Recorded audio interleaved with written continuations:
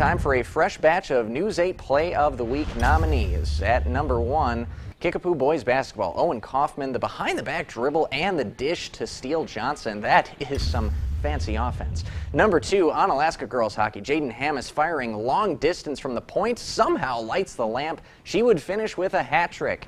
We'll stay in that game, actually, for number three on our list. Rachel Simonson for Viroqua, one-on-one, goes top shelf for the score. Number four, UWL men's hoops. Ethan Anderson coming up with the steal and heads the other way. He'll beat the transition defense, a couple of defenders, and a tough layup. Clutch performance in a win over a ranked opponent. And number five, Mel Min. Emily Herzberg splitting the defense and faking out a third before getting the bucket in traffic. You can vote for your favorite play right now on our sports page at news8000.com. Voting stays open until 4 p.m. on Thursdays.